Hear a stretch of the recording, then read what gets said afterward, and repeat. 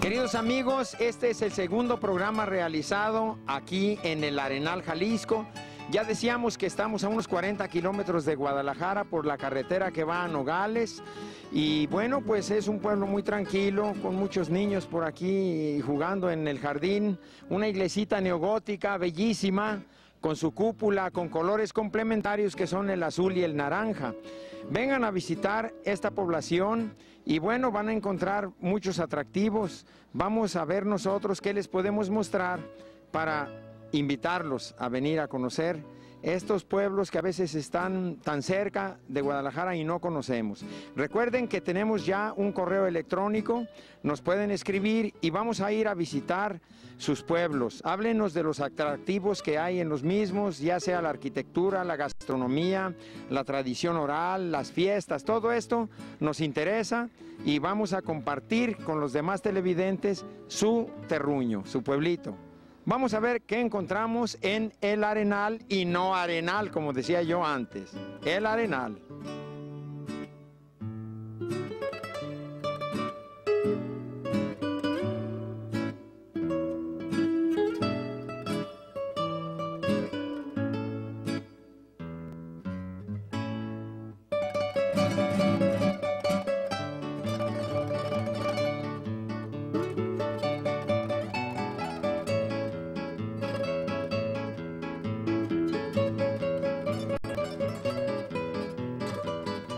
Señor, buenas tardes. Buenas tardes. Su nombre, por favor. Fausto Lupercio Sandoval.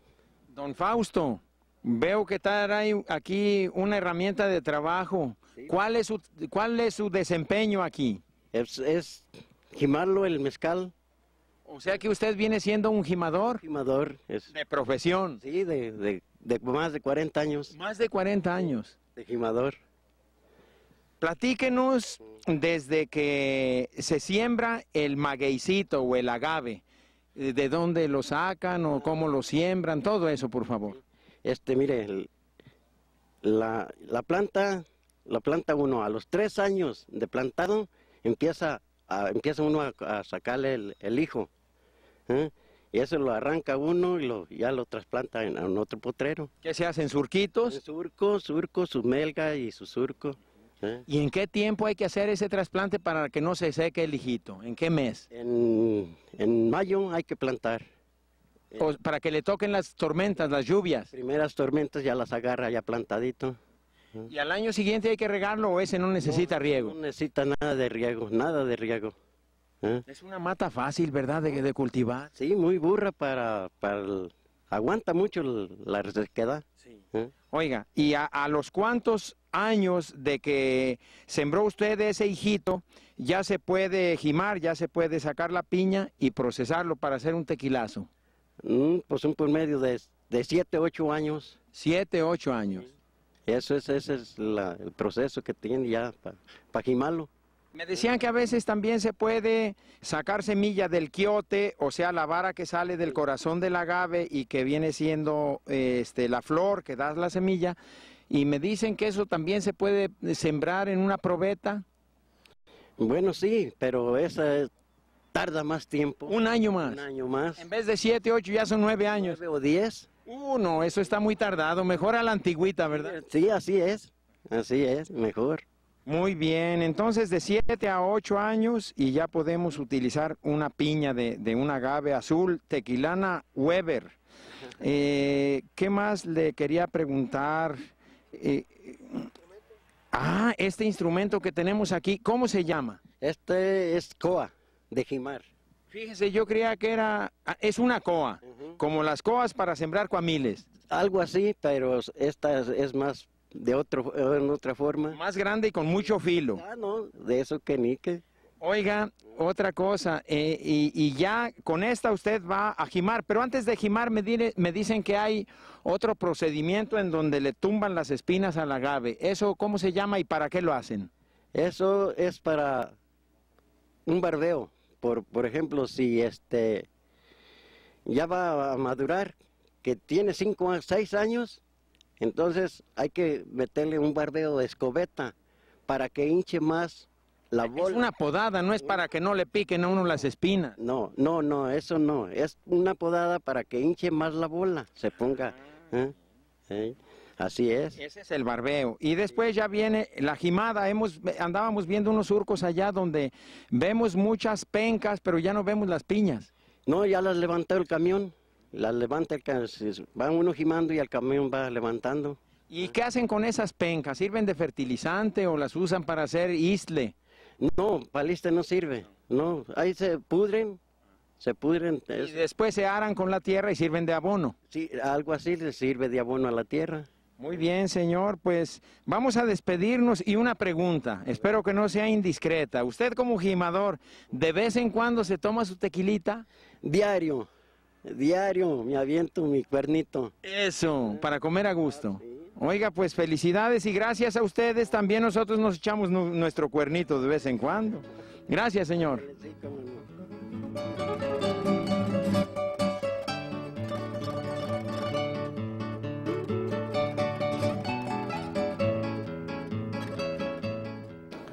Su nombre, por favor, señor. Eh, Sí, es Rogelio Guillermo Ruiz Ibarra Órdenes, Don Rogelio, eh, su puesto aquí en esta empresa, administrador. A usted le toca echar números y ver cómo vamos en, en- en los barriles. Eh, eh, usted es parte de la familia, me imagino. Sí, claro que sí, soy hijo de, de don Jorge Ruiz Calderón. A propósito, ¿él fundó esta empresa, don Jorge Ruiz? No, esta empresa tiene desde 1920 que la fundaron mi abuelo paterno y mi tío abuelo, hermano de mi abuelo. ¿De qué nombres ellos? Es Abelino Ruiz y Roberto Ruiz. Eh, ¿Cómo se llama la empresa? Es Tequila La Parañita SADCB. La parreñita, hombre, ya lo hemos consumido por allá en Guadalajara, buenísimo. A ver, eh, platíquenos eh, también del agave. Eh, ¿Se cultiva aquí a los alrededores o lo traen de otros pueblos, de los altos o de la región? Mire, tenemos un promedio nosotros de 50 hectáreas en propio. Y aparte tenemos proveedores de diferentes partes del estado de Jalisco. Eso es lo que, lo que nos, nos conviene a nosotros para tener el proceso de nuestro, de nuestro producto. Tengo curiosidad, uno lee en los periódicos, no es un secreto, pero en los periódicos vemos que se produce tequilana Weber en, o, el agave azul para el tequila en otros estados, pero hay ciertas reglas y códigos que no permiten que, eh, que esos, esos agaves azules eh, entren al estado o se procesen aquí, ¿correcto? Es correcto, creo que dos empresas eh, tienen la autorización de estar este, produciendo tequila con el nombre de tequila en diferentes estados antes de que hiciera la denominación de origen en Bélgica. Eso es, eh, si se produce el tequila en- o el agave en otro estado no, no procede a, llamarlo tequila. Es como Oaxaca con el mezcal, que nomás les pertenece a ellos. Si se hace mezcal aquí, dice alcohol de licor de aguardiente o algo así. Así es, así es. Eh, son las diferentes normas que nos, que nos este, rigen eh, la Cámara Regional Tequila junto con el Consejo Regulador. Me hablaba usted hace rato de otras, de otras fábricas. ¿Podría mencionarme algunas? Me decía que, que hay otras aquí en Arenal. Eh, díganos los nombres, por favor. Claro que sí, mire, es, es Tequila Cascahuín, así es el nombre de ella, este 501 Revolucionario, Tequila El Chorrito, eh, Don Valente, ¿verdad? Es- y nosotros, la fábrica de Tequila La Escondida. Esas son las que están aquí en Arenal ahorita eh, prácticamente establecidas y que están produciendo tequila. ¿A dónde se exporta el producto de estas fábricas? Nosotros estamos exportando a Bélgica, a España, a Holanda, a Francia y San José, California. ¿Por qué les gusta tanto el tequila en Europa? Porque también nos gustan las gringas allá, también de las de allá. Nos gusta lo de que viene de fuera. Claro que sí, claro que sí. Muy bien, ¿qué, qué más? Háblenos de las variantes que hay de, de productos aquí en la empresa. Me imagino que, que no todo es tequila blanco, ha de haber variantes, por favor. Sí, claro que sí, tenemos el 51% en tequila blanco y joven. Y tenemos el 100% de agave, que la marca de nosotros es Caballo Moro, en tipo reposado y añejo. El reposado lo, lo tenemos a 7 meses en la barrica y el añejo a 15 meses. A 15 meses, o sea que cuando sale ya es como cremita. Claro que sí, nada más que tiene que pasar por un régimen de análisis para poderlo envasar y, y darlo al consumidor. ¿De qué es la madera de, de los barriles que, que utilizan para añejar y para eh, ¿cómo se dice? Añejar y reposar. Es el roble blanco y encino.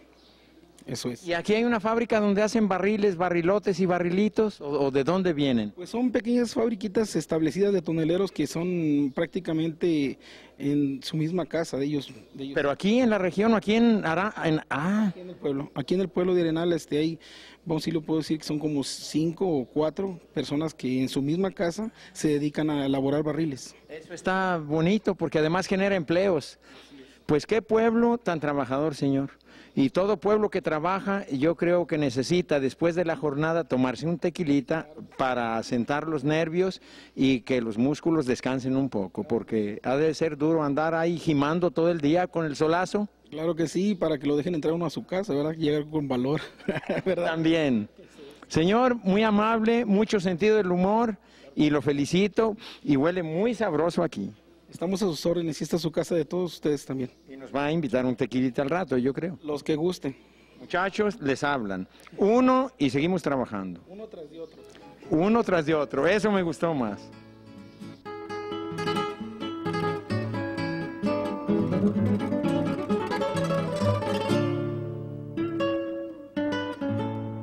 Ay, Arenal. Su nombre y su cargo en esta empresa o su puesto, por favor. Primeramente, don Cornelio, pues este, estamos congratulados en tenerlos por aquí de visita y que se acuerden que, que todavía eh, seguimos trabajando. Y lo que me pregunta, mi nombre Miguel Ángel Peralta y estoy encargado de la producción de aquí de la empresa Tequila La Parreñita de CADCB. Tú eres químico. Sí. Sí, este, ya en la empresa tenemos trabajando, yo en lo personal, aproximadamente año y medio, aquí colaborando con la familia Ruiz.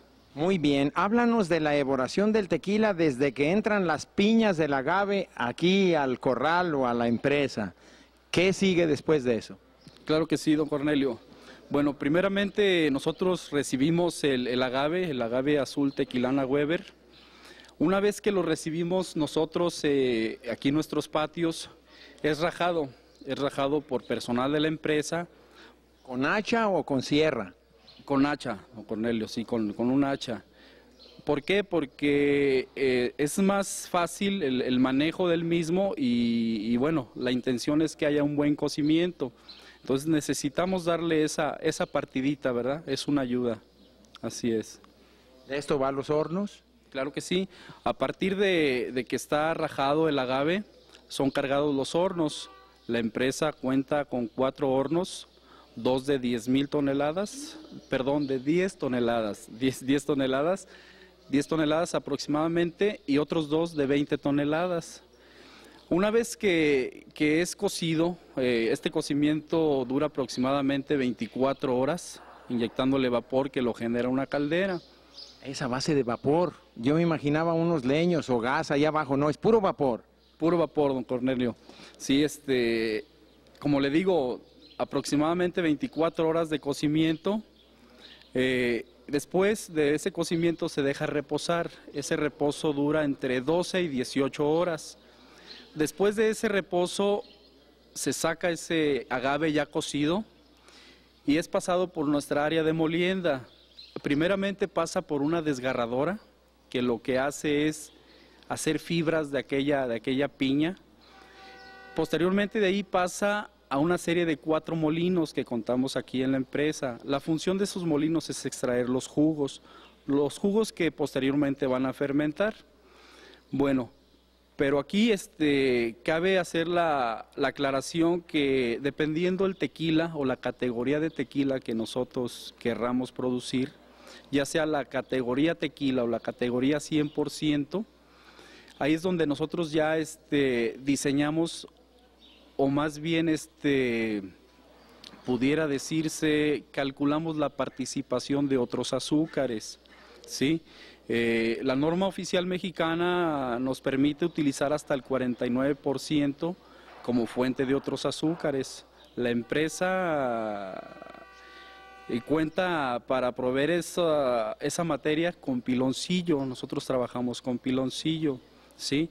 Entonces, una vez que están hechas las mezclas para lo que es la categoría tequila, pasan al área de fermentación.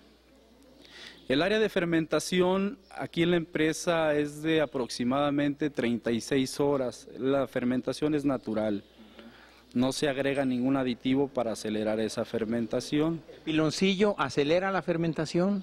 Mm, no, aquí nada más lo utilizamos como fuente de otros azúcares para llegar a las distintas eh, proporciones que nos permite eh, el formular la categoría tequila.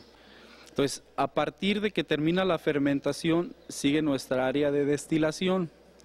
La destilación es este, básicamente un proceso purificador. Aquí lo que, lo que se hace en la destilación es en dos tiempos, es una destilación discontinua. A la primera destilación que se le da a ese mosto ya fermentado, donde ya no hay azúcar, sino hay nada más presencia de etanol, lo que vamos a hacer es extraer ese etanol de esos jugos fermentados. Eh, la primera destilación se le llama destrozamiento, ¿sí? Y lo que obtenemos de ahí es un licor conocido en el medio como ordinario. Una vez que tenemos esos licores o ese ordinario, se somete a una segunda destilación. Esa segunda destilación la conocemos como rectificación. ¿sí? Entonces, de esa rectificación es donde realmente obtenemos ya lo que es el tequila. Bueno, pues muchísimas gracias y vamos a seguir conociendo este pueblo de Arenal que estoy sorprendido. Hombre, a 40 minutos de Guadalajara y hay empresas de carnes frías, carnes calientes, tequilas reposados, blancos, jóvenes, viejos. Qué maravilla de pueblo. Felicidades.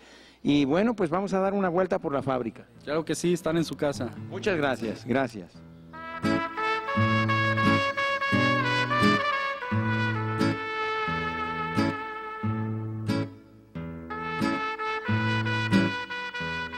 Su nombre, por favor, joven. Sí, mi nombre es Juan Alberto González, para servirle. Juan, ¿y tu profesión o tu trabajo o tu oficio o destino? Bueno, mi profesión es, soy tecnólogo electricista, pero aparte de hacer esos trabajos tenemos un taller de, de barriles. Barriles que, pues, que se utilizan para darle saborcito al tequila, pues, ¿verdad? Mucho. Un saborcito añejo. Un saborcito añejo, a maderita, quemadito, que es lo que la gente busca, lo que la gente le gusta, y pues sabe bueno. ¿De qué madera se fabrican los barriles? Mira, se fabrican de roble blanco y de encino, pero nosotros no, todos los que hacemos es puro roble blanco. Puro. Una madera muy dura. Muy dura y muy especial, porque si fuera otro tipo de madera, parece ser que el tequila ni nos le da ese sabor o no lo puede echar a perder y el, y el roble blanco no, es especialmente para el cuidado del tequila. ¿Qué diferentes modelos de barriles eh, hacen ustedes? Bueno, mira, aparte del tradicional, que es el barril, barril, hemos estado haciendo unos diseños que le llamamos pipón, es un, un tipo así como pirámide, pero algo así cortadito. Estamos haciendo unas botellas en unas botellas chicas, una botella grandota así larga que parece una marimba, algo así. Estamos haciendo... Eh, la tumbadora que acabamos de ver hace rato. Esa, esa, que por cierto, ese nombre me gustó, ese que le estás poniendo. Y, tumbadora por dos razones, ¿verdad? Sí, porque también tumba lo que tiene adentro, ¿verdad? De todo con medida. Y tenemos otros que le llamamos enchapes, que va aparentemente aparenta estar pegado en la pared, pero en realidad es algo así como que si fuera la mitad de un barril, pero tiene, está sellada y todo y se le pone su llave como debe ser. Tenemos varios, varios diseños y varios tamaños. Tenemos, estamos fabricando desde un litro hasta 100 litros. Hablando de esos tamaños que ya vimos de 1 a 100 litros, ¿qué precios tiene eh, desde el de un litro hasta el de 100 litros? ¿Qué precio tienen estos barriles? Mira, el, de un litro, eh, el costo es 65 pesos, 70 pesos. Ya por mayoreo, pues damos mejores precios. Y el, pues el más caro es el de 100 y ese sí ya cuesta alrededor de 1.500 pesos. 1.500 pesos. Eh, eh, ¿Es tradición de aquí de Arenal de fabricar estos barriles para el tequila o ustedes empezaron con, con esta empresa? Bueno, parece ser a lo que yo he oído que las fábricas sí tenían sus propias personas que les diseñaban sus pipones, donde almacenaban ellos su tequila. Más sin embargo, estas personas siempre trabajaban para las fábricas, nunca trataban de poner un taller. Y este, hasta hace poco hay otro taller aquí de una persona que trabajaba en una fábrica y aparte está el de nosotros, que estos muchachos se enseñaron en, ot- en otro taller, y este, pero pues para ya no trabajar fuera, ¿no? Buscaron quien pudiera poner un taller y afortunadamente nosotros, aunque está pequeño, lo pudimos iniciar y ellos ya no tienen que ir a trabajar fuera, ellos ya tienen trabajo aquí en su pueblo. Se asociaron, vaya. Sí, de, al- de alguna manera nos asociamos y este, porque ellos pusieron su conocimiento, ¿no? Eso es muy importante también. Y ya los vimos trabajar, son unos maestros, ¿eh? Sí, sí, re- realmente, este, ya como miraste, el muchacho explicó que son aproximadamente veintitantos pasos, se puede decir que pequeños, pero lleva, lleva su secreto cada cosita y pues es algo realmente especial. Y luego hicieron unas macetas muy bonitas aquí ustedes también, como la mitad de un barril, ¿verdad? Bueno, eh, lo que pasa es que se le pueden dar varios usos a lo que es este el barril o la madera, ¿no? Pueden ser diseños rústicos para adornar algunos lugares o, o diseños ya un poco más terminados y pues hemos ido intentando sobre la marcha hacer algunas nuevas ideas. Ahora háblanos eh, de cómo se fabrica el barrilito, de cómo lo queman, me dices tú que lo queman para que esto le dé un sabor ahumadito al tequila con el tiempo. Pues sí, como te explicamos ahí en el taller, aparte que le ayuda a, a tener la figura que se le da, que es así, se puede decir dobladito, es, Ah, y también lo queman para que se fije la forma de la madera, si no se puede deformar, vamos a decirlo así. Sí, se, se trataría de deformar más fácil. Se mantiene la forma con ese quemado porque la madera al quemarla, pues se acopla a la figura esa, ¿no? Aparte el quemadito este es para que no le dé ese saborcito al tequila y el color, el color, ¿verdad? Porque si un barril no lo quemamos, aparte que podemos tener otro tipo de problemita por ahí de que nos, nos podría quedar mal, no te da ese color tan rápido. Y, estos barriles con eso, pues yo considero que, que es ventaja, porque si le pones, eh, bueno, para empezar, compras un tequila blanco que es más barato, tú lo pones ahí y ya no tienes que andar pagando el añejamiento, porque el añejamiento lo hace tu propio barril. A eso iba. Haz de cuenta que yo llego y te compro un barril de 5 litros, llego a mi casa, ¿qué tengo que hacer? ¿Hay que curarlo antes o hay que echarle tequila directamente? Mira, los barriles nosotros ya los damos previamente curados, ya los entregamos curados y por cierto hasta pirografiados, si alguien quiere un recuerdito por ahí, un nombre, eh, tú ya nomás, ya nomás está listo para que tú llegues, le eches tu tequilita y estos barriles, más cuando son nuevos, en tres semanas ya te tienen el tequila listo. ¿verdad? Conforme este, va pasando el tiempo de uso, es- Más sabroso. Ey, más sabroso, más, más tarda más en ponértelo, pero más bueno. Pues realmente el tequila, el barril efectivo es el que tiene dos, tres usos, ya de que, que tú te lo llevas pues de nuevo, ¿verdad? De nuevo, este, de- te pone tan rápido, te- listo el tequila, que pues necesitas consumirlo o cambiarlo ya a otro envase de vidrio y ponerle nuevo para que no desperdicies el tiempo. El tiempo, porque no pasa nada si lo dejas 5 o 10 años ahí. Eh, en un barril nuevo, como el que estaba diciendo que entregamos, hay algunas personas que no les gusta demasiado el saborcito a madera o saborcito añejo. Entonces es mejor estarlo, cuando son nuevos, sacarlo pronto. Ya cuando el barril tiene más veces de uso, lo puedes dejar hasta un año y te saca una, pues te saca un, yo así le digo, un coñac, un whisky, que pues él lo- se compara con los coñacos, con los Que whisky. nuestro tequila tiene su sabor propio, ¿verdad? Y muy sabroso. Sobre todo te lo suaviza. Queridos amigos, pasen por su barrilito. Muchas gracias, joven. Ándale, igualmente, mucho gusto.